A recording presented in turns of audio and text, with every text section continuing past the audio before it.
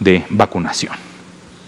42 millones 347 mil 665 dosis son las que se han recibido al momento en nuestro país, desde aquel 23 de diciembre de 2020 que llegaron, un día antes de aplicar la primera dosis en nuestro país, distribuido en las cinco cinco diferentes, cinco diferentes vacunas que tiene nuestro país disponibles para la estrategia operativa de la Política Nacional de Vacunación contra el virus SARS-CoV-2. 16 millones de Pfizer BioNTech, 11.2 de AstraZeneca, 8 millones de Sinovac, 2.4 millones de Sputnik V y 4.6 millones de la vacuna de CanSino.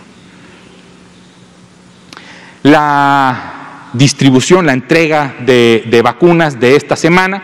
se eh, cerrará el domingo 6 de junio, en donde se recibirán un millón de dosis de la vacuna Sputnik V para haber recibido durante esta semana un total de 3.458.990 dosis de vacuna contra el virus SARS-CoV-2 en nuestro país.